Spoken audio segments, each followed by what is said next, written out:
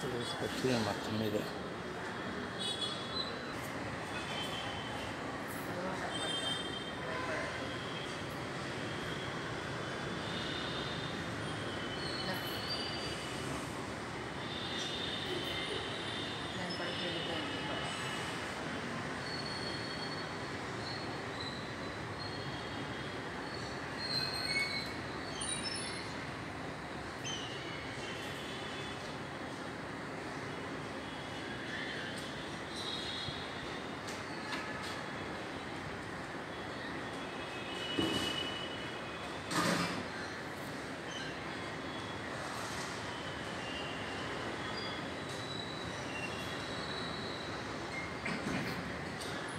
हैं तो पूरी तरह पर भगा देने का